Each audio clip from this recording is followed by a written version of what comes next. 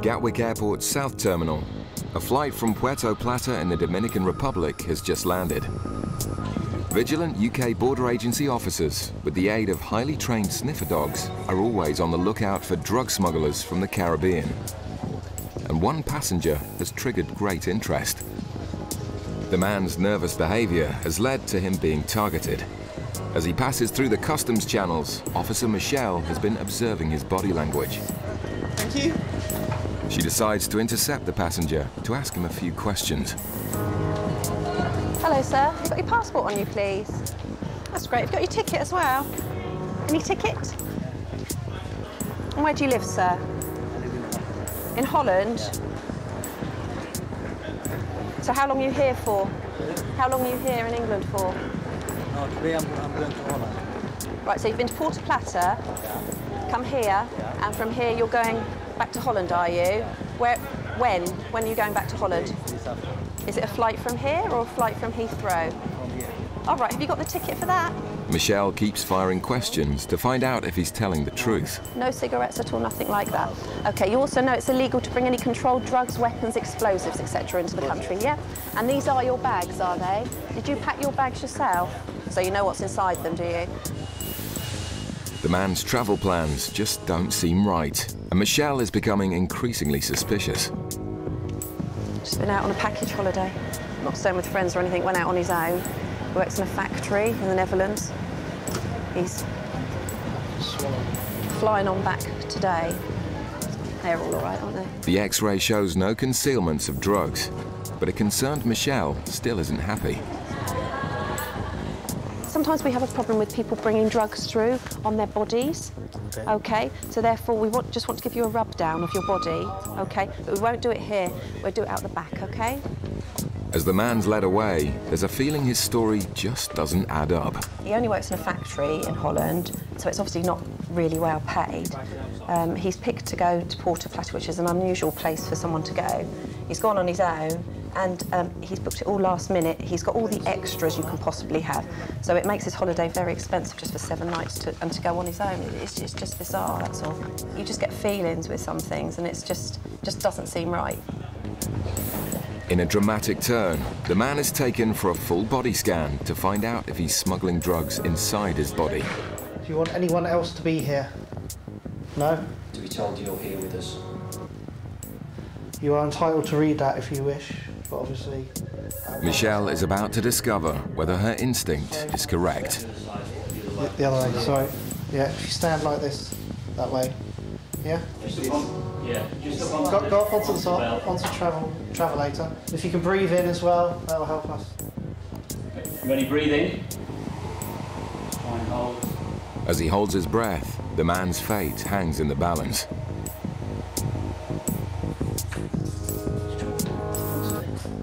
His day is about to get a lot worse. Packages, 100%. 100%. He's stuffed with packages of drugs. Okay, sir. From what we can see on the X-ray, looks like you have packages inside you. Time is 0853 hours. I'm arresting you on suspicion of being involved in the importation of a controlled drug. You do not have to say anything, but it may harm your defence if you do not mention one question, something that you later rely on in court. Anything you do say may be given in evidence. Do you understand that? Okay, sir. He's got little packages which will probably be condoms full of cocaine. And now, literally, we've got to take him down, get him custodised, and then he needs to concentrate on getting those packages out um, because he doesn't realise, you know, if, if one of those burst or leaked, it could cost him his life. At Gatwick's North Terminal, a flight has just arrived from Dubai, a country outside the European Union with widely available cheap cigarettes. Officers have been alerted by immigration to a man waiting at the luggage carousel. He collects the last of his cases and proceeds straight through the nothing to declare customs channel. Officer Paul stops the passenger to ask a few questions. Hiya. Can I cut word, please? Hi. Are you travelling on your own? Yeah. Do you have your passport with you, please? It's just Dubai you've been to, is it? it's just about, What was the reason for your trip? I was just going to travel. To Dubai? Yeah, like, it was a nice place. What do you know about Dubai then? Know, it's just hot. much. It's just hopped. Find me a bus stop. You haven't got a ticket. How much does the ticket cost you? Did you book your own ticket? Yeah, I can't remember how much it was. When did you book it? Friday. Right, how much does it cost you then? Can't remember. I You, you didn't book it, did you? No. No, who booked it? Um, I don't know. Alright, you travelling with somebody else? No. Where do you actually live? Uh, Newcastle. How are you getting back to Newcastle? Uh, coach. Coach. Having already exposed a lie, Paul is wary of anything the man says. The Green Channel. Do you understand what the Green Channel means? No. Right, have you been abroad before? Just to America. To America. Okay, when you go abroad, you're allowed to bring back certain goods. Yeah. Certain cigarettes, for instance. One bottle of spirit. I have a card in the bag. How many have you got? I'm not sure if that's for the next one. And that one? A little bit in the bottom. How much do they cost you? Tabs are slang for cigarettes, and the man's confession doesn't impress. Have you ever dealings with customers before? No, not really. Apart from America. What happened? Um, I got deported. Why was that? Back across. Sorry? I took some back across. You took khat across? Yeah. Khat is an East African stimulant which is often chewed. Whilst legal in the UK, it's banned in America. How much money did you take out with you? Then, with 100 pound, 200 pound. Who paid for these then? Oh, Who paid for these? no. Nobody should have it. Who, who paid for them then? Somalians. Somalians again? Uh, What, from Newcastle? Paul becomes aware that the Somali who paid for the cigarettes is likely to be at the airport to pick them up. What's the name of the chap that you have to speak to on the phone? Um, I can't remember. Well, what was the last name? Mohammed. Mohammed. Yeah. He's uh, Somalian. He's going to be. He's out there somewhere, and there's, there's a fair chance there's another, there's another one with him because, yeah, they never ever travel on their own, so he's going to be with. Yeah. He might have suitcases already. Yeah. Cigarette smugglers often work in pairs, and officers realise there may be a chance of locating another smuggler as well as the recipient of the cigarettes. How much did you get paid for doing this? 200 pound. Is that all? Yeah. Mind you, you get a holiday out of it. What? You get a holiday out of it. I didn't think. What do you do? Nothing. I had a car crash a couple of months ago and I need to like raise three thousand pound excess reinsurance. So it's just uh I make money to make any way There you go. So you want benefit? Yeah. Back at the airport's south terminal, the Dutch drug smuggler who risked his life to bring packages of drugs into the UK is being taken into custody. He's made aware of his rights by the custody officer and for his own safety is told to get the packages out of his system as quickly as possible. Basically, when people have an internal concealment, um, to make sure we can see if they produce anything, change them into uh, what we call white paper suit, and then we can see if there's anything happening. And underneath, they'll be um, completely naked.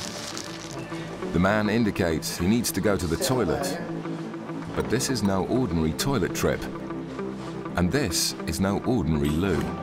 So he's gone into the special toilet facility where if he starts producing packages, um, they then have to be cleaned up by the officer who's gone in with him and um, then they'll be bagged up as well. So just waiting for him to come out to see if he has actually produced any. Yeah, yeah, the gentleman said he needed the toilet, and while I haven't counted them at the moment, it looks like he's produced around 20 packages, and he's told the custody officer he's got 60 something. So obviously, the quicker they're, they're out of his system, best chance he's got of survival, basically. The process of washing the packages is a very dirty job, but someone's got to do it. If one of the packages were to split, basically ends up in, with death within minutes, unfortunately. So that, that is why we try and get packages out of people as quickly as we possibly can, because the consequences of a burst package are pretty serious. With the packages washed, Officer Paul must bag them up and weigh them to find out what quantity of drugs the man was carrying. Definitely big packages. 344 grams of cocaine so far. If you take away a little bit for the packaging, etc., it's probably about 300 grams. Then. One kilo nowadays is worth around 50,000 pounds. So he's, he's probably carrying about 50,000 pounds worth of drugs with him. Packages here, they're now seized from you, okay? And they will be yours? The Dutchman pleaded guilty to smuggling cocaine and was sentenced to five and a half years in prison. Further inquiries resulted in another arrest. Back in Gatwick, Officer Paul has intercepted a surprisingly candid Geordie cigarette smuggler. Other officers attempt to track down the Somali recipient of the cigarettes, called Mohammed. They find another Geordie lad who also confesses to having smuggled cigarettes. He then tells the officers where they can find the elusive Mohammed. We've come out looking for a Somalian, obviously, but uh, my colleague stopped another lad who was a Geordie as well. He, in the end, he did cough to being met by Mohammed, who he said has just walked out to the car hole. So we've given chase and stopped the car here. It's got three cases full of cigarettes. It's a job well done by the officers. But after seizing the illegal cigarettes, Mohammed, the ringleader of the operation, is free to go. I got told, right, I'll give you £200 if you bring two suitcases of towels back through and Okay. Mm-hmm. it's been scared to lose my job. Yeah. I thought, well, may as well. Did you not think of the consequences? Not really, because I'm on the bones of my got them out. Uh, we got wife and kids at home. How many kids have we got? Three? Okay. The other man from Newcastle is led back inside the airport to be reunited with his friend. In these circumstances, what we'd normally do is uh, just seize the cigarettes and the suitcases from them, and it stays on file. So if they get stopped again, then they'll get arrested and prosecuted for this offence and the next one. Um, so they're very lucky because if they'd got caught a second time with this amount of uh, cigarettes, you know, you're looking at a jail sentence. So from their point of view, they're quite lucky. So were you getting a fight back, or was it- was the other chap driving you back to Newcastle? You just, well, well, we'll get paid when we get out. But You haven't been paid yet? No, but probably not now. With no money from the job, the lads now have another problem. I was relying on the money from the bringing the cigarettes through to get myself back home. Now I've got no money off cigarettes and no, no money to get myself home. As they attempt to make the long journey up north, the two lads can rue the fact that their 40,000 cigarettes, with a street value of over £10,000, were intercepted. Rather unlucky. In fact, my chap was particularly unlucky. He's only travelled abroad twice, two trips abroad, and twice he's been caught. He said he's not going to travel abroad again. I don't blame him. At Bristol Airport, a flight has just landed from Malaga in Spain. Border agency officers working in immigration are alerted to a couple who've been acting suspiciously. A woman dressed in black and a man in a stripy jumper head to baggage reclaim. Officer Brandon decides to follow them to monitor their behavior.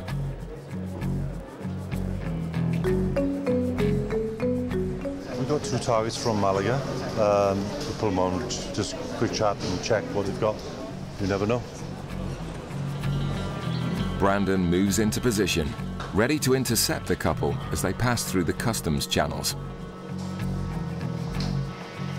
Hello, they're both customs. Just come through, please. You are together, yeah? How long have you both been away? Oh, holiday. Yeah, how long? weeks, two weeks. Okay. And where have you travelled whilst you've been away? Oh, just around Spain, just in uh, ah, the Artis Costa. Right. You've stayed in one place or? Yeah, about all around holidays, just normal. Okay. You ever been stopped by customs before? No, no, no. Okay. Bags packed for yourselves?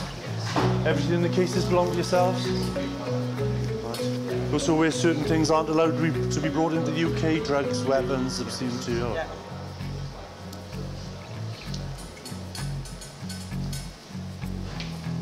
The man stares intently as his suitcase is searched. He then removes a mobile phone, which causes suspicion. Right, can I, sure, I do. Just uh, part of the check, yeah? That's fine. He gets his phone back, but seems a little agitated. Then a package is found, which might explain why. What's the name, mate? It's uh, sweets. Sweets.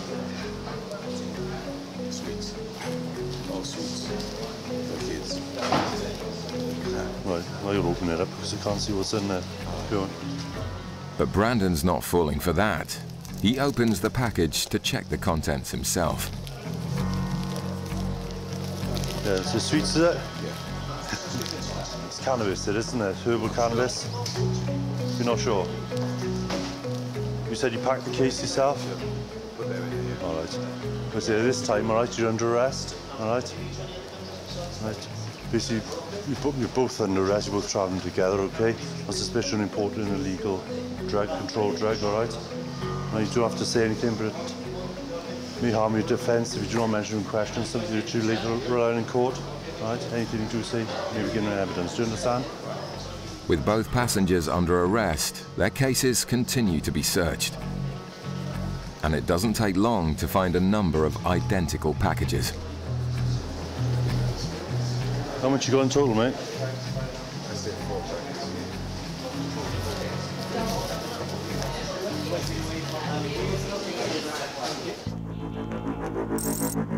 There's no respite for officers in Gatwick as another Caribbean flight arrives from Jamaica.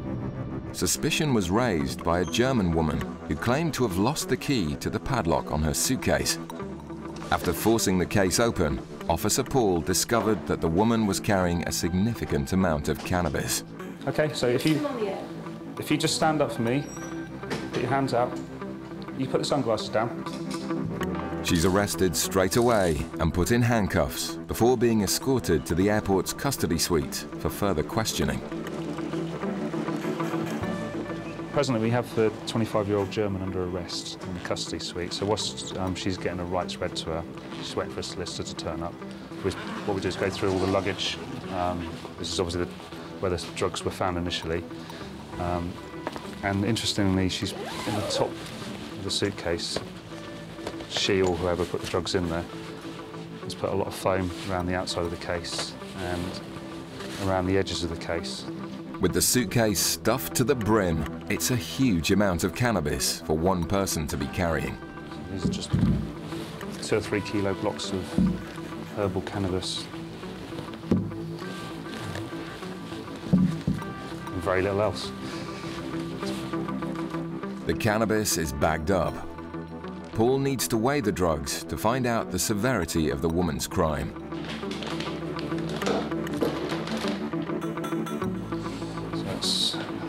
18.15 kilos. Uh, the suitcase weighed 23 kilos, so nearly the whole suitcase was cannabis. Um, that'd be worth between 40 and 50,000 pounds. It's another excellent find by officers. For the German woman, it's been a highly risky gamble that hasn't paid off. A lot of them are single young females, and it doesn't surprise me anymore. We get, we've had single young females, we've had old men of 70, we've couples travelling together. You know, it really, it's basically anybody that's short of money. Anyone that's desperate for money will, will do it for a couple of thousand pounds or whatever else they've been promised. The woman later pleaded guilty to smuggling cannabis and was sentenced to nine months in prison. Back in Bristol, and with four packages of herbal cannabis found in a man's suitcase, the search now moves on to his wife. Almost immediately, Officer Brandon finds something hidden in the clothing. This time, he suspects it's cannabis resin.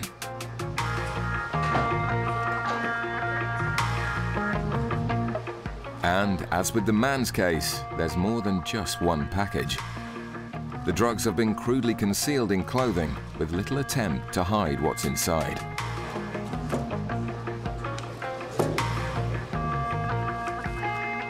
As the last block is removed from the case, the couple know they've been caught red-handed. There's uh, six resin uh, cannabis and four packages of uh, herbal cannabis. Um, I'm not sure weight at the moment.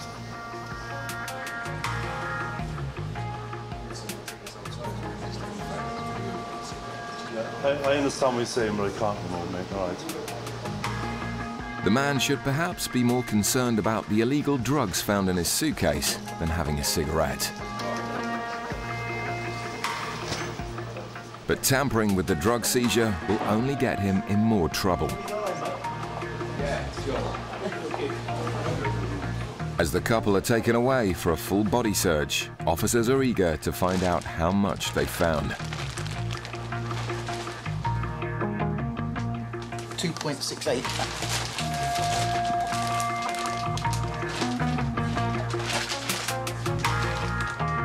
2.68 kilos of herbal cannabis and 5.48 kilos of cannabis resin adds up to a haul worth over £20,000. It's a huge amount of illegal drugs removed from the streets.